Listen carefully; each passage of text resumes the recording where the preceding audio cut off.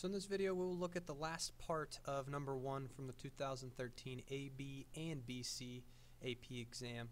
And in this question we had the rate at which gravel was arriving at a plant to be processed. We know that the gravel was being processed at the rate of 100 tons per hour. And we know how much gravel was unprocessed at the beginning of the workday, and that was at 500 tons of unprocessed gravel. In part D here, it says what's the maximum amount of unprocessed gravel at the plant during the hours of operation on this workday? Justify your answer. Well, it wants the maximum amount of something. It wants the absolute maximum. And anytime we're looking for the absolute maximum of a function that should be continuous, and if you think about it, the function that represents the amount of unprocessed gravel, it is going to be continuous. We're not going to have any drastic jumps or asymptotes on that graph. It's always going to be rising and falling. It's always going to be defined. So the function that represents the amount of unprocessed gravel will be continuous. And if we're looking for an absolute maximum for a function on a closed interval, and we are looking for it on a closed interval, the workday goes from t equals 0 to t equals 8, we have to consider the endpoints of the interval as possibilities for the absolute max. Maybe the most gravel was on the plant at the beginning of the workday, maybe it was the end of the workday, then again, maybe it was sometime between t equals 0 and t equals 8. The other values that we're going to have to consider are places where the derivative of the function that represents the amount of unprocessed gravel is equal to zero. Now in part C, in the previous video, I defined this net rate function. The net rate of change of the amount of unprocessed gravel at the plant is given by g of t, the rate at which it arrives, minus 100, the rate at which it's processed. Now, the derivative of the amount of unprocessed gravel would actually correspond to the rate of change of the unprocessed gravel. This would be the rate of change of the unprocessed gravel on the plant. When is this rate of change equal to zero? Well, what I've done is I've graphed g of t on my calculator and I've graphed uh, y equals 100 on my calculator. I want to figure out when those rates are equal to each other. Because whenever this is equal to zero, when n of t equals zero, that's a place where the derivative of the function representing the amount of unprocessed gravel on the plant, that's a place where that derivative is equal to zero. And so I can set this g of t equal to 100, right? I can add 100 to this side.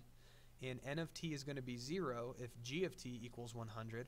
Well, if this is a calculator problem like it is, you can figure out the solution to that pretty quickly uh, by finding the intersection of g of t and y equals 100. And so if I find the intersection graphically, what I end up with is I end up with the t-value of, I'm going to round this to, uh, I'm going to take a few more than three digits of accuracy for the time being, just because this is technically going to be an intermediate calculation. And I don't want to lose any accuracy by rounding off now and then doing more math with this number later. So I'm going to say that my other candidate in between 0 and 8 is the only time when g of t equals 100 within that interval, and that's t is approximately, I'm not going to take all the digits of accuracy up here, I'm just going to say 4.9. Now, how can you figure out which one actually gives the absolute max? Well, if these are the only three candidates, and you have a continuous function as the function representing the amount of unprocessed gravel on this plant's premises should be, you're guaranteed to get an absolute max. It has to happen either here, here, or here. So what I'm going to try to do is I'm going to try to compute the amount of unprocessed gravel at uh, t equals 0, and the amount of unprocessed gravel at t equals 0 is going to be, well, the amount that we start with, and that is a given. The plant has 500 tons of unprocessed gravel at the beginning of the workday uh, on site. So 500 tons is what they have at the beginning of the workday. Now at t is approximately 4.9. How much unprocessed gravel is there then? Well, at t equals 4.9, we need to figure out we need to figure out how much uh, gravel has been arrived and processed over the course of the time frame from 0 to 4.9.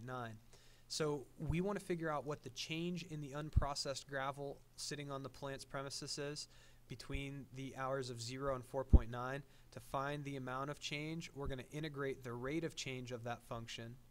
And the rate of change of that function is given by what I've defined over here to be n of t. Right, the rate of change of the amount of grav- unprocessed gravel in the plant is given by this function.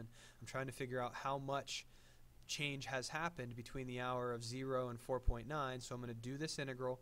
That's an integral that I can evaluate on the calculator. But that's just going to give how much the amount of unprocessed gravel has changed. The amount of unprocessed gravel is actually going to be what we started with at the beginning of this time frame plus that amount of change. So to figure out what the value of this integral is, I'm going to go back to the calculator. I think I'm going to do this integral from the graph screen, or not from the graph screen, from the home screen. And so if I go back to my home screen here, uh, to, to integrate from the home screen, what we're going to do, and you see all this mess, so if you saw some weird stuff happen with what's over here, it's because I made a mistake. I'm going to get rid of all this and take another attempt at doing this uh, the right way. So to do the integral from the home screen, what we're going to do is we're going to go into the math menu. And from the math menu, at the bottom of that list, second from the bottom actually, we have this function integrator feature. And we can numerically integrate a function using the calculator's capability. We're going to have to type in the function. So what we want to do the integral of here is we want to do the integral of n of t. And so n of t is g of t minus 100. So I need to type my function in, g of t, which is 90 plus, and that was actually what I messed up a couple minutes ago. When I typed this in uh, on my first attempt, I ended up putting minus there, which, which definitely gave me the wrong result, so I'm glad I kind of double checked what the solution was supposed to be before I posted this video. But anyhow, uh, I guess that should signify the importance of when you are using the calculator, get everything typed in properly. And I just had another little goof there. So there's my g of t, right? And I need to do g of t minus 100. That's what I need within this integral. So there's g of t minus 100. That's the function that I want to integrate.